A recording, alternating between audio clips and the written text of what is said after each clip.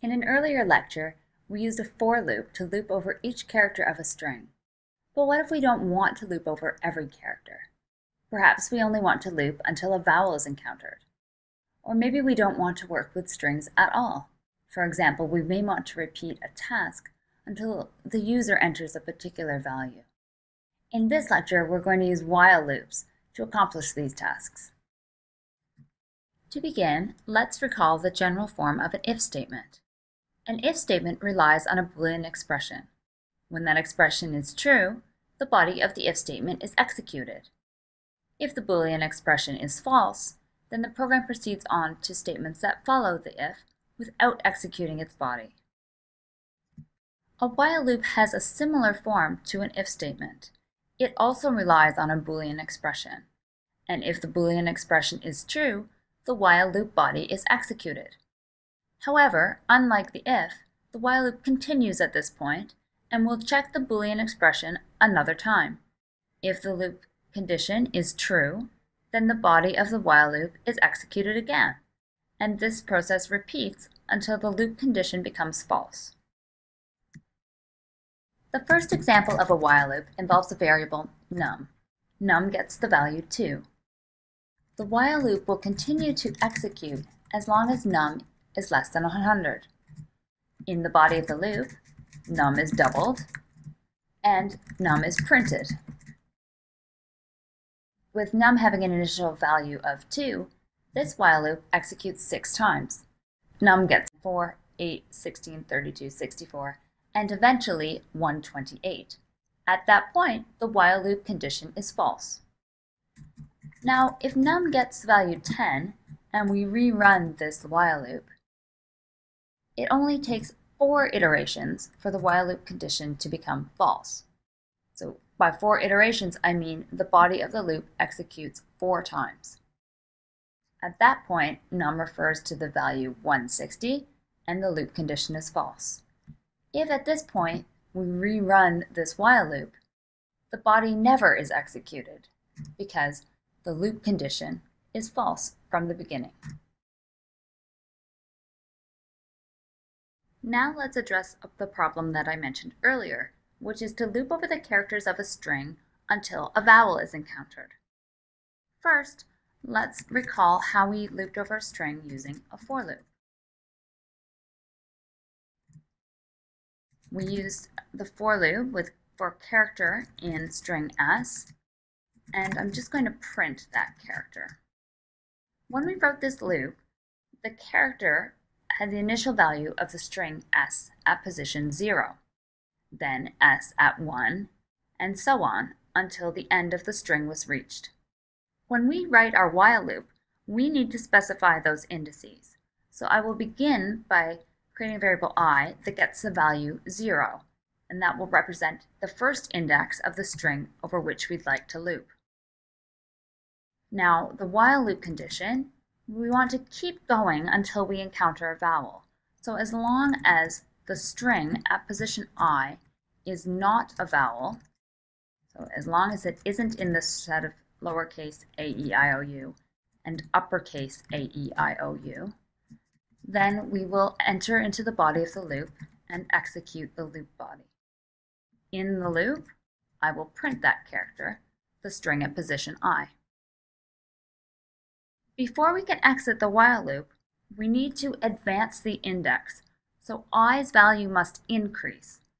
i will get the value of i plus 1. So we move on to the next character of the string. In this case, the while loop executes once, because the character s at 0 is not a vowel. And then the second time the while loop condition is checked, s at 1 refers to e, which is a substring of the string of vowels. So the while loop condition is false, and the while loop exits. Let's execute the same loop, this time using the string there. Setting i to 0 once again, and now executing the while loop. This time, the while loop body executes twice, once for the consonant t, a second time for the consonant h, and then the E is encountered, so the while loop condition is false, and the loop exits. what happens if there are only consonants in our string?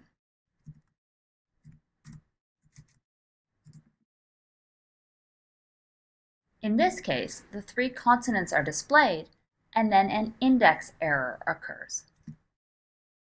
S of 0 refers to the x, S of 1 refers to the y, and S of 2 refers to the z. But the current value of i is 3, and S at 3 is not a legal position. It's not a valid index for string S. So an index error occurs. We haven't specified when to stop examining the characters of S.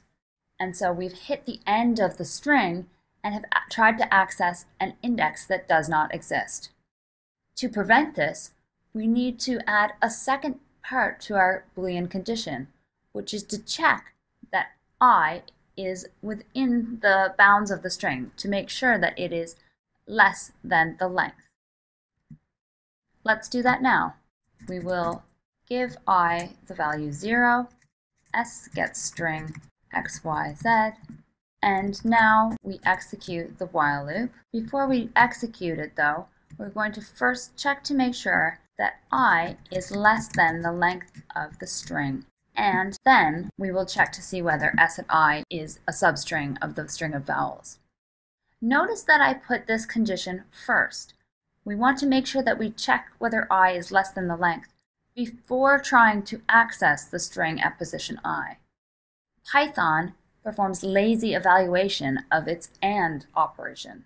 So if the first operand to an AND is false, the second is not evaluated. That means that if i is not less than the length of the string, then this AND is found to be false at that point, and we won't try to access the string at position i. So in this case, the three consonants are displayed, and at that point, the condition that i is less than the length of the string is false, and the loop exits.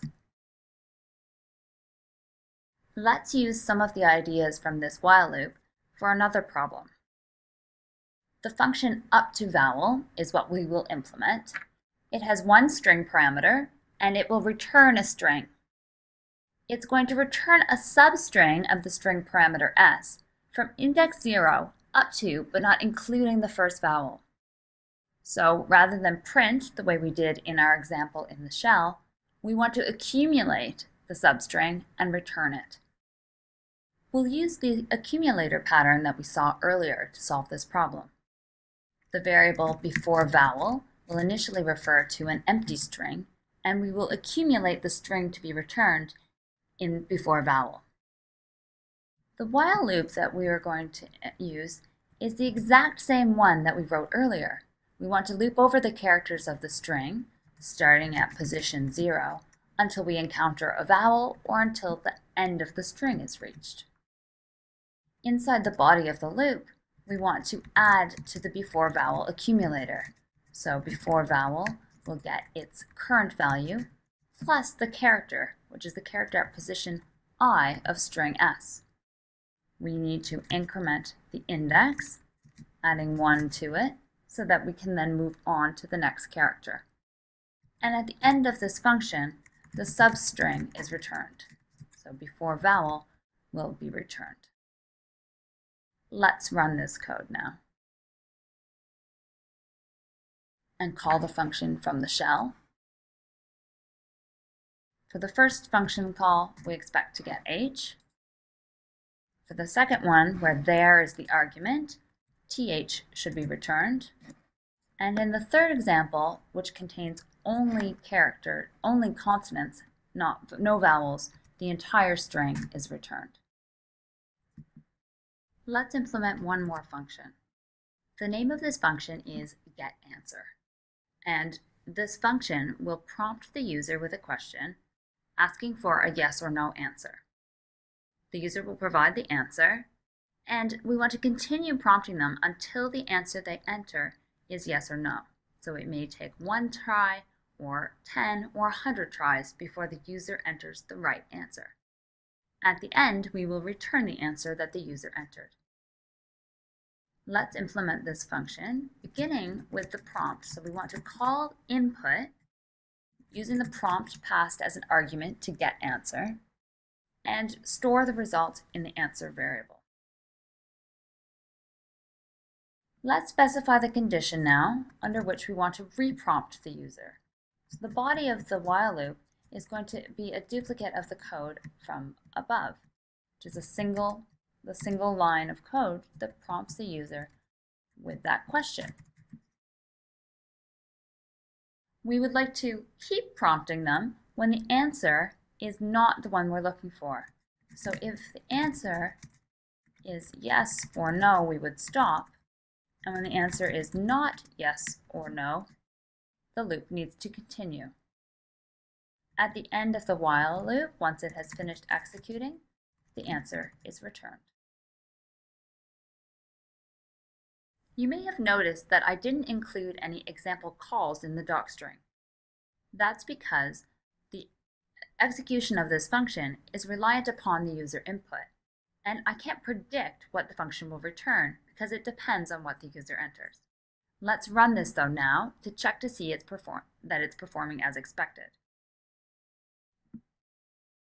Calling getAnswer, I'll pass a prompt.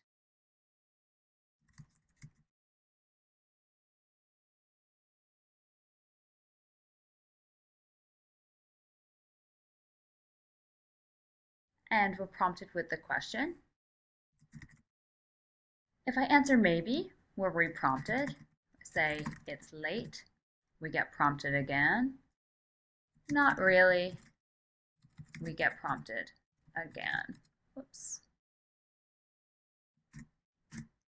Finally, if I enter yes, yes is returned by the function. Let's try that one more time. This time, I'm going to answer no right away. So the body of the while loop won't be executed because the while loop condition will be false the very first time that it is checked. No is returned by the function in this case.